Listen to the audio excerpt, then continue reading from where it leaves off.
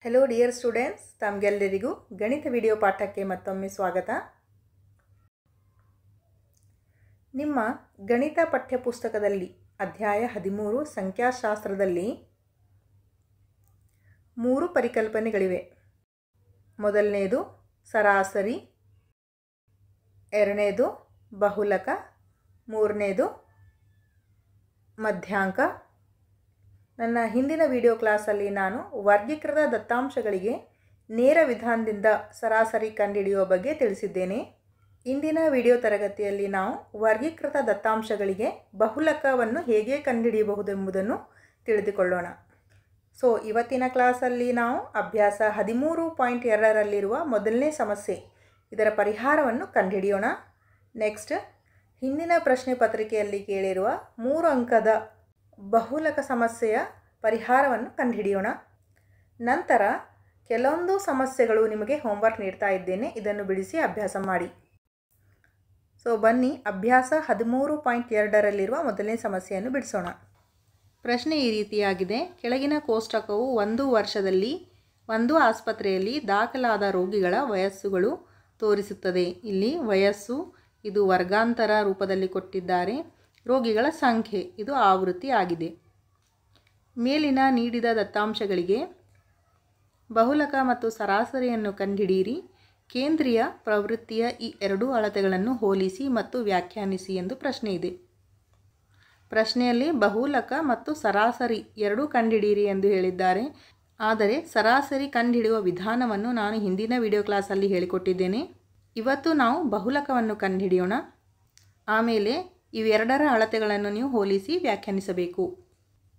ಪ್ರಶ್ನೆಯಲ್ಲಿ ದತ್ತಾಂಶಗಳು ಅಡ್ಡ ಸಾಲಿನಲ್ಲಿ ಕೊಟ್ಟಿದ್ದಾರೆ. ಪರಿಹಾರಕ್ಕಾಗಿ ಇದನ್ನು ನಾವು ಕಂಬ ಸಾಲಿನಲ್ಲಿ ಬರೆಯಬೇಕು.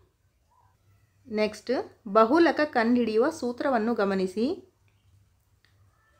ಬಹುಲಕ, ಬಹುಲಕದ ಸೂತ್ರ ಬರೆಯುವ ಸರಳ ವಿಧಾನವನ್ನು ಹೇಳಿಕೊಡುತ್ತೇನೆ. ಮೊದಲಿಗೆ ಎಲ್ ಬರೆಯಿರಿ. ಪ್ಲಸ್ ಒಂದು ಬ್ರ್ಯಾಕೆಟ್ ಹಾಕಬೇಕು. ಗುಣಿಸು ಹೆಚ್ ಬ್ರ್ಯಾಕೆಟ್ ಒಳಗಡೆ ಎಫ್ ಮೈನಸ್ ಎಫ್ ಬರೆಯಿರಿ. Next two F minus F minus F next ಇದಕ್ಕೆ ಒಂದು, ಸೊನ್ನೆ ಒಂದು, ಸೊನ್ನೆ, ಎರಡು. One zero one zero two ಎಂದು ಬರೆಯಿರಿ. ಸೂತ್ರ ಈಸಿ ಆಗಿದೆ ಅಲ್ವಾ? ಎಲ್ ಪ್ಲಸ್ ಬರಿಬೇಕು ನೆಕ್ಸ್ಟ್ ಬ್ರ್ಯಾಕೆಟ್ ಹಾಕಬೇಕು ಇಂಟು ಹೆಚ್ ಬರಿಬೇಕು, ಒಂದು ಲೈನ್ ಹಾಕಿ, ಇದ್ರ ಮೇಲೆ F minus F by two F minus F minus F ಇದಕ್ಕೆ ನಂಬರ್ ಕೊಡಬೇಕು. One zero one zero two okay ಈಗ L F one F zero F two H ಈ ಬೆಲೆಗಳನ್ನು ಪ್ರಶ್ನೆಯಿಂದ ಗುರುತಿಸೋಣ. ಸೊ ಅದಕ್ಕಾಗಿ ಈ ಆವೃತ್ತಿಯಲ್ಲಿ ಅತ್ಯಂತ ದೊಡ್ಡ ಆವೃತ್ತಿ ಯಾವುದು? ನೋಡಿ ಇಪ್ಪತ್ತ್ಮೂರು ಎಸ್, ಇದನ್ನು ನಾವು ಎಫ್ ಒಂದು ಎಂದು ಬರೆಯಬೇಕು. ಎಫ್ ಒನ್ ಬೆಲೆ ಎಷ್ಟು? ಎಫ್ ಒನ್ ಬೆಲೆ ಇಪ್ಪತ್ತ್ಮೂರು ಎಫ್ ಒನ್ ಮೇಲಿನ ಆವೃತ್ತಿ ಎಫ್ ಝೀರೋ ಎಫ್ ಒನ್ ಕೆಳಗಿನ ಆವೃತ್ತಿ ಎಫ್ ಟು. ನಾವು ಸಂಖ್ಯೆಗಳನ್ನು ಹೇಗೆ ಬರಿತೀವಿ ಮಕ್ಕಳೇ? ಝೀರೋ, ಒಂದು, ಎರಡು ಈ ಥರ ಬರಿತೀವಲ್ಲ? ಅದೇ ರೀತಿ ಇಲ್ಲಿನೂ ಕೂಡ ಝೀರೋ, ಒನ್, ಟು ಆಗಿರಬೇಕು. ಆದರೆ ಎಫ್ ಒನ್ ನಾವು ಫಸ್ಟ್ ನೋಡ್ತೀವಿ ದೊಡ್ಡ ಸಂಖ್ಯೆ. ಅದಕ್ಕಾಗಿ ಇದು ಎಫ್ ಒನ್ ಎಂದು ಗುರುತಿಸಬೇಕು. ಸೊ ದೊಡ್ಡ ಸಂಖ್ಯೆಗೆ ಎಫ್ ಒನ್ ಎಂದು ಗುರುತಿಸಿ, ಅದೇ ಸಾಲಿನಲ್ಲಿರುವ ವರ್ಗಾಂತರದ ಕೆಳಮಿತಿಯನ್ನು ಎಲ್ ಎಂದು ಗುರುತಿಸಿ. ಸೊ ಎಲ್ ಬೆಲೆ ಮೂವತ್ತೈದು, ಎಫ್ ಝೀರೋ ಬೆಲೆ ಎಷ್ಟು? ಇಪ್ಪತ್ತೊಂದು ಎಫ್ ಒನ್ ಬೆಲೆ ಇಪ್ಪತ್ತ್ಮೂರು ಎಫ್ ಟು ಬೆಲೆ ಹದಿನಾಲ್ಕು, ಹೆಚ್ ಹೆಚ್ ಅಂದರೆ ವರ್ಗಾಂತರದ ಗಾತ್ರ. ಇಲ್ಲಿ ಮೊದಲನೇ ವರ್ಗಾಂತರದಲ್ಲಿ ಐದರಿಂದ ಹದಿನೈದು ಎಂದು ಕೊಟ್ಟಿದ್ದಾರೆ. ಹದಿನೈದರಿಂದ ಐದನ್ನು ಮೈನಸ್ ಮಾಡಿ. ಅದೇ ರೀತಿ ಯಾವುದೇ ವರ್ಗಾಂತರ ಆಗಿರಲಿ, ಮೇಲ್ಮಿತಿಯಿಂದ ಕೆಳಮಿತಿ ಮೈನಸ್ ಮಾಡಿದರೆ ನಿಮಗೆ ವರ್ಗಾಂತರ ಗಾತ್ರವನ್ನು ದೊರೆಯುತ್ತದೆ. ಸೊ ಈ ಬೆಲೆಗಳನ್ನು ಸೂತ್ರದಲ್ಲಿ ಆದೇಶಿಸಿ ಎಲ್ ಬೆಲೆ ಮೂವತ್ತೈದು ಪ್ಲಸ್ ಬ್ರ್ಯಾಕೆಟ್ ಎಫ್ ಒನ್ ಬೆಲೆ ಇಪ್ಪತ್ತ್ಮೂರು ಮೈನಸ್ ಎಫ್ ಝೀರೋ ಇಪ್ಪತ್ತೊಂದು ಬಾಗಿಲೆ ಎರಡು ಗುಣಿಸು ಎಫ್ ಒನ್ ಬೆಲೆ ಇಪ್ಪತ್ತ್ಮೂರು ಮೈನಸ್ ಎಫ್ ಝೀರೋ ಇಪ್ಪತ್ತೊಂದು ಮೈನಸ್ ಎಫ್ ಟು ಬೆಲೆ ಹದಿನಾಲ್ಕು ಬ್ರ್ಯಾಕೆಟ್ ಕ್ಲೋಸ್ ಗುಣಿಸು ಹೆಚ್ ಬೆಲೆ ವರ್ಗಾಂತರದ ಗಾತ್ರ ಹತ್ತು ಮೂವತ್ತೈದು ಪ್ಲಸ್ ಇಪ್ಪತ್ತ್ಮೂರರಿಂದ ಇಪ್ಪತ್ತೊಂದು ಕಳೆಯಿರಿ. ಎರಡು ಎರಡು ಇಪ್ಪತ್ತ್ಮೂರಲೆ ನಲವತ್ತಾರು, ಇಲ್ಲಿ ಮೈನಸ್ ಇಪ್ಪತ್ತೊಂದು, ಮೈನಸ್ ಹದಿನಾಲ್ಕು, ಮೂವತ್ತೈದು ನಮಗೆ ಸಿಗುತ್ತದೆ. ಗುಣಿಸು ಹತ್ತು. ಇಸ್ ಈಕ್ವಲ್ ಟು ಮೂವತ್ತೈದು ಪ್ಲಸ್ ಎರಡು ಭಾಗಿಸು ನಲವತ್ತಾರರಿಂದ ಮೂವತ್ತೈದು ಮೈನಸ್ ಮಾಡಿ ಹನ್ನೊಂದು ಸಿಗುತ್ತದೆ. ಗುಣಿಸು ಹತ್ತು. ಈಕ್ವಲ್ ಟು ಮೂವತ್ತೈದು ಪ್ಲಸ್ ಎರಡು ಹತ್ತಲೆ ಇಪ್ಪತ್ತು ಬೈ ಹನ್ನೊಂದು.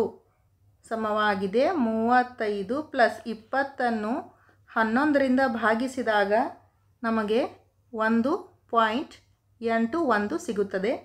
ಇದನ್ನು ಪ್ಲಸ್ ಮಾಡಿದಾಗ ಮೂವತ್ತಾರು ಪಾಯಿಂಟ್ ಎಂಟು ಒಂದು ಸಿಗುತ್ತದೆ. ಇದು ನಮಗೆ ಬೇಕಾಗಿರುವ ಬಹುಲಕ. ಈ ರೀತಿಯ ಇನ್ನೊಂದು ಪ್ರಶ್ನೆಯನ್ನು ಬಿಡಿಸೋಣ. ಈ ಪ್ರಶ್ನೆ April two thousand twenty four. ಈ ವರ್ಷದಲ್ಲಿ ಮೂರು ಅಂಕಗಳಿಗೆ ಗಣಿತ ವಾರ್ಷಿಕ ಪರೀಕ್ಷೆಯಲ್ಲಿ ಕೊಟ್ಟಿದ್ದರು ಈ ಕೆಳಗಿನ ದತ್ತಾಂಶಗಳಿಗೆ ಬಹುಲಕವನ್ನು ಕಂಡಿಡಿಯಿರಿ ಈ ವರ್ಗಾಂತರ ಕೊಟ್ಟಿದ್ದಾರೆ, ಆವೃತ್ತಿ ಕೊಟ್ಟಿದ್ದಾರೆ.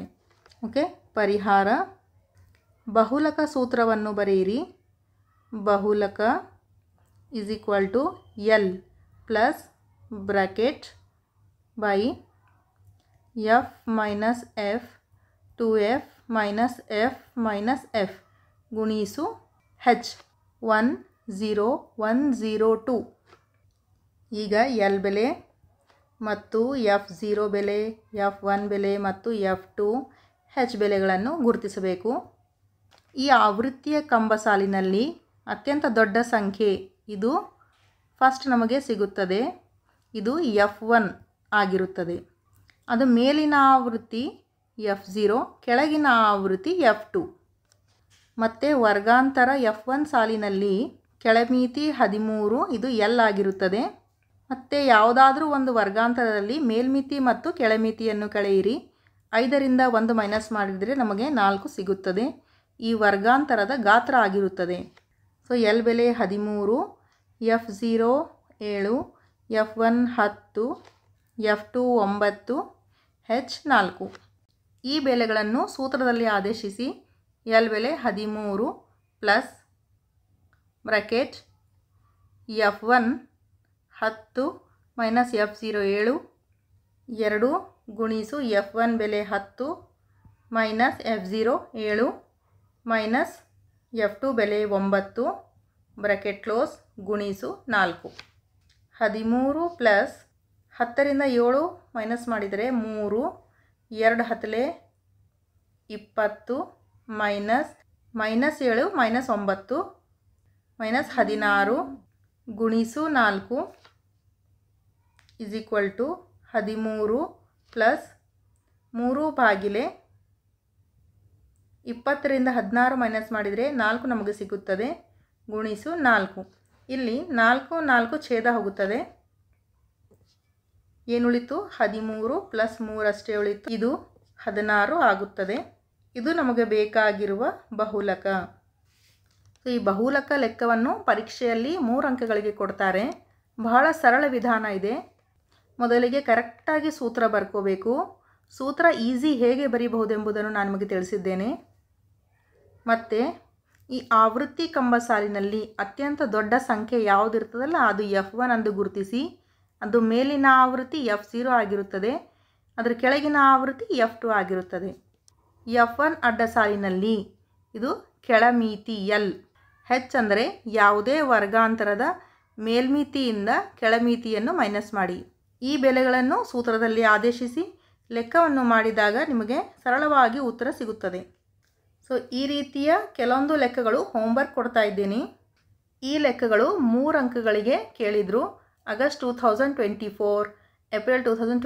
Twenty twenty June two thousand twenty three April two thousand twenty twenty two June two thousand twenty twenty ಈ ವರ್ಷಗಳಲ್ಲಿ ಗಣಿತ ಪ್ರಶ್ನೆ ಪತ್ರಿಕೆಯಲ್ಲಿ ಈ ಲೆಕ್ಕಗಳು ಕೊಟ್ಟಿದ್ದರು ಇದರ ಉತ್ತರವನ್ನು ನಾನಿಲ್ಲಿ ಕೊಟ್ಟಿದ್ದೇನೆ. ನೀವು ಈ ಬಹುಲಕ ಲೆಕ್ಕವನ್ನು ಬಿಡಿಸಿ ಉತ್ತರವನ್ನು ವೆರಿಫೈ ಮಾಡ್ಕೋಬೇಕು. ಸರಾಸರಿ, ಬಹುಲಕ ಮತ್ತು ಮಧ್ಯಾಂಕ ಈ ಮೂರೂ ಪರಿಕಲ್ಪನೆಗಳು ಎಕ್ಸಾಮ್ ದೃಷ್ಟಿಯಿಂದ ಬಹಳಷ್ಟು ಇಂಪಾರ್ಟೆಂಟ್ ಆಗಿದೆ. ಈ ಮೂರೂ ಪರಿಕಲ್ಪನೆಗಳು ಸರಿಯಾಗಿ ಅಭ್ಯಾಸ ಮಾಡಿ ಪರೀಕ್ಷೆಯಲ್ಲಿ ಹೆಚ್ಚು ಅಂಕಗಳನ್ನು ಗಳಿಸಿ. ತಮಗೆಲ್ಲರಿಗೂ ಧನ್ಯವಾದಗಳು.